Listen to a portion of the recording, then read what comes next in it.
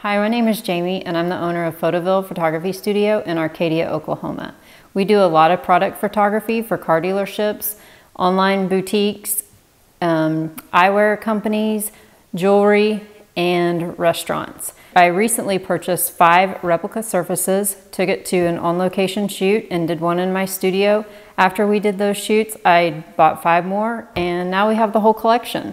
So today we're going to be demonstrating the splash drink photography in our studio. I like the versatility of the replica surfaces and they come in a lot of different colors and patterns, which makes it great for especially the clients that we shoot, which are more high end. So they expect a good quality backdrop look. And we also do a lot of flash photography. And so they work really well with the high end flash photography.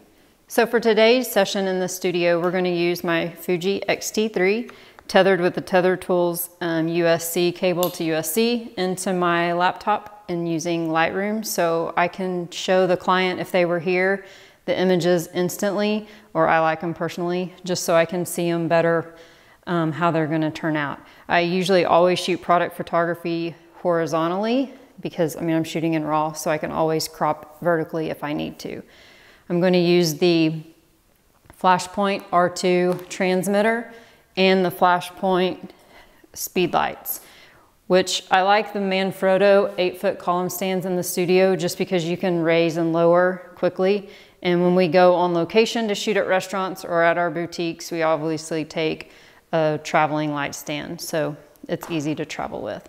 So let's get started. So for this particular assignment, it's going to be for a restaurant. They wanted a glass that shows the splash photography in this drink. It's just going to be a clear liquid like vodka with um, the strawberries. And so for today's purposes, we're just going to demonstrate water. We use room temperature water so we don't have to worry about the glass frosting up during the shoot. So I'm gonna go ahead and get started. And obviously I made sure that the glass is clean. So we're gonna use the weathered wood one and the slate for this demonstration. And when you pour the water, make sure you fill it pretty full so you get the big splash. So a lot of times when you go out and shoot, you don't have an assistant. And in this case, I don't have an assistant tonight. So I'm gonna shoot on my self timer and I'm gonna shoot multiple frames per second to allow my ability to get the perfect shot for my client. So here we go.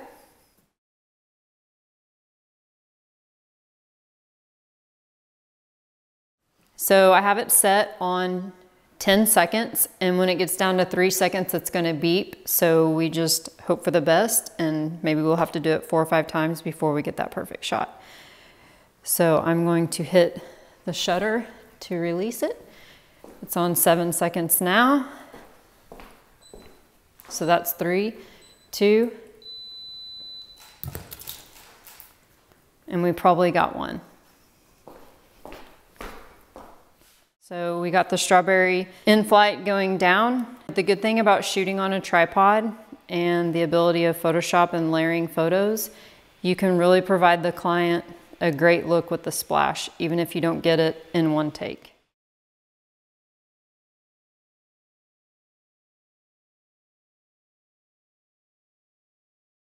Again, when you crop it for the client, obviously we would do a vertical crop and it would be like so.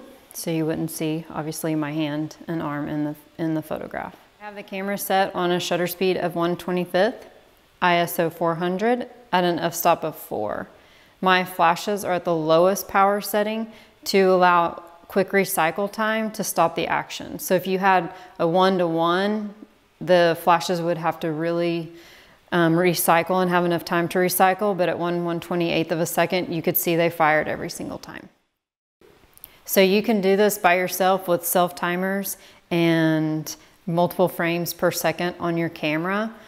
So give it a try. You don't have to have an assistant.